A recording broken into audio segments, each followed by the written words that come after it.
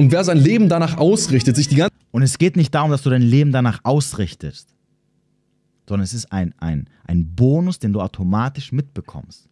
Und natürlich, jeder Mann will eine Frau an seiner Seite oder mit Frauen zu tun haben. Das ist ja unser Urtrieb. Wir wollen uns fortpflanzen. ganze Zeit zu fragen, wie kläre ich am besten Frauen oder dafür auch noch Geld ausgibt. Also sorry, aber das ist halt per se einfach schon ein bisschen lost.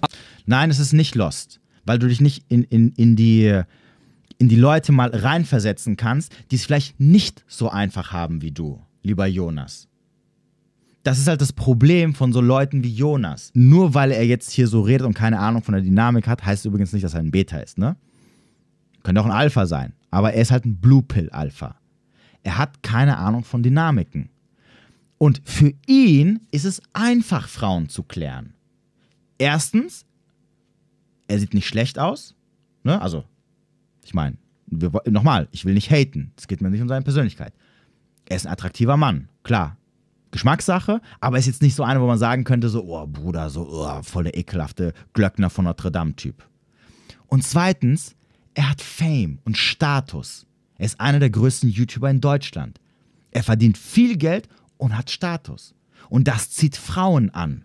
Also kann er sich wahrscheinlich. Und, und wenn er ein bisschen, wirklich ein bisschen Game hat, okay, er braucht nicht richtig gutes Game zu haben. Solange er nicht irgendwie ähm, von der Persönlichkeitsebene nicht komplett lost ist, ne, so ein richtiger Ekel, wird er genug gute Frauen, hübsche Frauen abkriegen. Allein schon durch sein Aussehen und durch seinen Status. Also ist es schwer für ihn, sich vorzustellen, dass es Männer gibt, die gar nichts abkriegen. Die froh sein können, mal auf ein Date zu gehen. Im Jahr. Und er ist wahrscheinlich einer der Typen, wenn du ihn, wenn du ihn mal so fragst, ne, was kann ich machen, damit ich bei Frauen besser ankomme, er dir sagen wird, hey, sei einfach du selber. Sei, so wie ich. Ich bin ja auch einfach ich selber. Ne? Ich bin so, wie ich bin und fertig. Und die Frauen fliegen mir nur so aus allen Seiten zu. Das Problem ist, so sind aber nicht alle Männer. Es gibt Männer, die haben Probleme. Aber da du dich ja noch nie damit beschäftigt hast, oder in deinem Freundeskreis, alle Typen, die du kennst, ähm, die wahrscheinlich auch alle Fame haben, es einfach mit Frauen haben und sie die reihenweise wegklatschen, jedes Wochenende, weil sie das sind, was sie sind, ist es halt schwierig, sich vorzustellen, dass es halt auch eine andere Welt gibt oder dass in der realen Welt es nicht so einfach ist. Ich habe auch schon tausendmal gesagt, in meinem Channel geht es nicht um mich. In meiner Welt würde ich auch sagen, äh, Bro, sei einfach wie du bist. Und ich kann mir nicht vorstellen, dass es Typen gibt, die, die äh, was weiß ich, schon 30 oder 40 sind und einen Bodycount von 5 haben. Oder da, dass es Männer gibt, die im Durchschnitt in ihrem Leben mit sieben Frauen schlafen werden. In meiner Welt, also wenn's, wenn ich so ne, alles so projizieren würde, wie ich es denke, würde ich sagen, sowas gibt es doch gar nicht. Es gibt doch keine Männer, die nur mit sieben Frauen in ihrem Leben schlafen. Was ist das denn? Vielleicht mal in einem, in einem schlechten Jahr sieben Frauen. Aber die Realität sieht anders aus.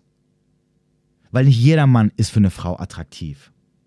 Es gibt Männer, die müssen hart dafür arbeiten. Und ja, die werden rausgehen und sich Hilfe holen.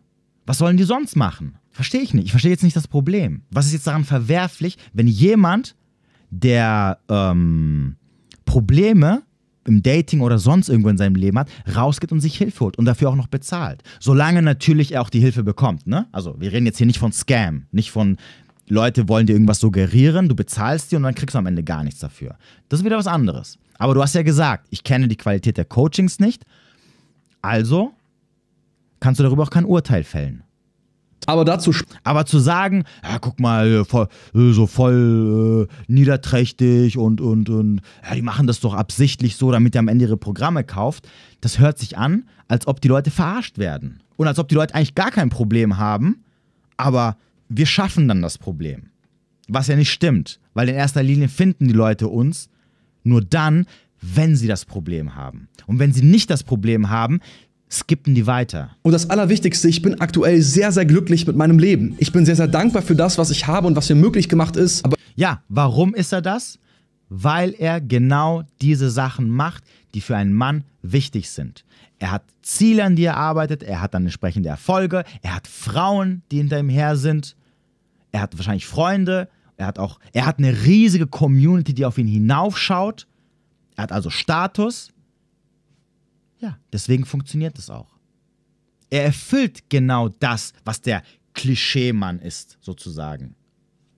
Aber ich weiß auch, dass ich dafür hart gearbeitet habe. Und selbst wenn ihr jetzt sagt, du, ey Jonas, aber du bist kein richtiger Mann, mir doch scheißegal, dann bin ich halt keiner. Nur weil ich eurer Loser Red Pill Argumentation nicht entspreche, glaubt Doch, du entsprichst der Argumentation.